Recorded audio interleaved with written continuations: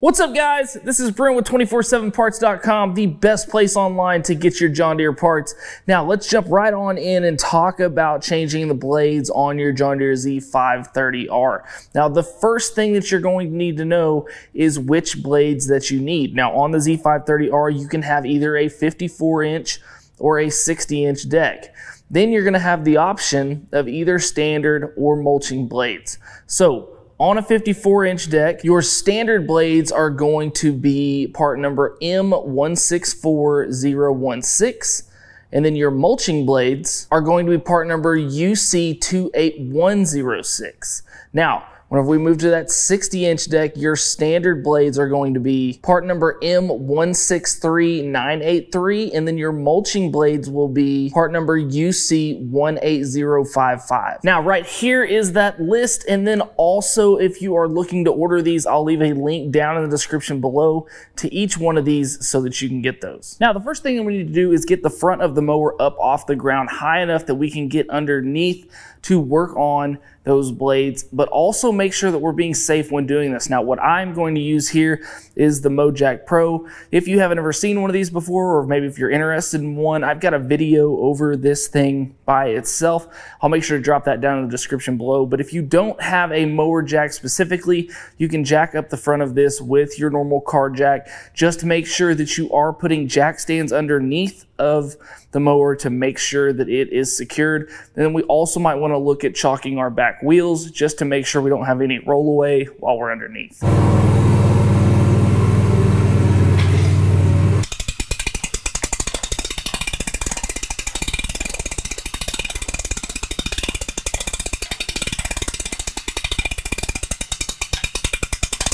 All right, so now moving underneath the mower, here is where the action happens. A couple of things that you're going to need. For one, you're going to want to have some sort of block of wood or something to help put in place to hold these blades still whenever you're taking them on and off. Then you're going to need an 18 millimeter socket and a breakover bar. And then you're also going to want to have a torque wrench to make sure you're torquing these blades down to spec on this mower, whether it is a 54 or a 60 inch both of these are going to be torqued down to 50 foot-pounds. Now, that is going to be the tools you need if you are going the full-on manual way. If you do have an electric impact, then that is an okay way to go as well. That's the way we're going to try here. Right there. Get that to come loose. Then you avoid using the block of wood, not having to wedge that in until you go to tighten it back on. And we can loosen that bolt out the rest of the way by hand. Now, whenever you're taking the blade off, what you're going to have is the blade here.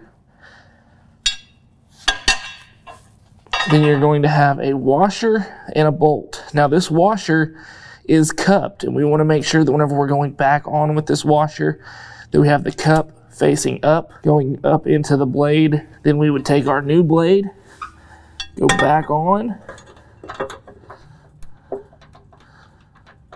Start that up by hand.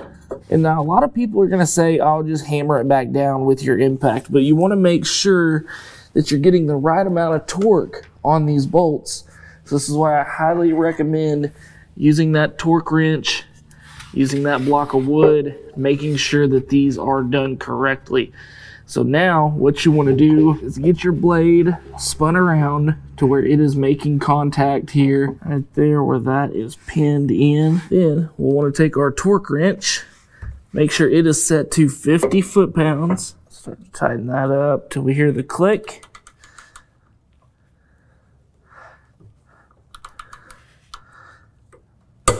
Right there. 50 foot-pounds. And we want to move our blade let our wood drop out, and get everything out from underneath. Now, once you've gotten that done, we can start to let the mower down. Whatever jack system you have, just make sure to let that down safely. We can take it off of the jack system, take it out, turn those blades on, make sure that we hear that everything is sounding good, make sure we don't have any rattling, anything like that going on, and then we are good to mow. So guys, I hope this video helped you out. I hope that you liked this video. If it did, we just ask you to hit that like button and subscribe to the channel. Also guys, if you are needing these blades or any other parts at all for your John Deere equipment, make sure to go check us out at 247parts.com. And as always, guys, thanks for watching. We'll see you next time. Hey guys, make sure to go buy your parts right here and subscribe right here.